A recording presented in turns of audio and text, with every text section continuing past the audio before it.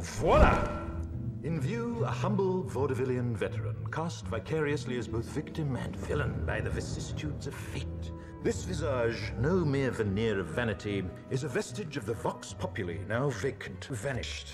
However, this valorous visitation of a bygone vexation stands vivified, and has vowed to vanquish these venal and virulent vermin, vanguarding vice and vouchsafing the violently vicious and voracious violation of volition.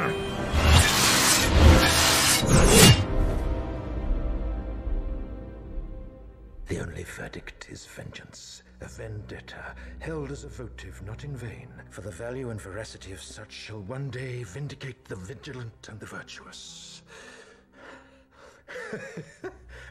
Verily, this vicious vichyssoise of verbiage veers most verbose, so let me simply add that it's my very good honor to meet you, and you may call me V.